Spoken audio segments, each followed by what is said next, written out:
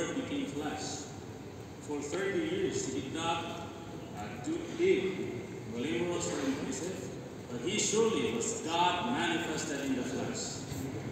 For God's intention from the very beginning is that he has his expression on the earth.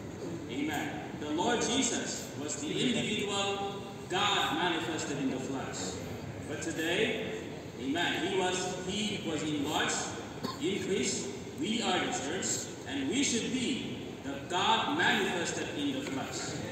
We should live out Christ. Though we are weak, though we are man in the flesh, but within us we contain the glorious God. Amen.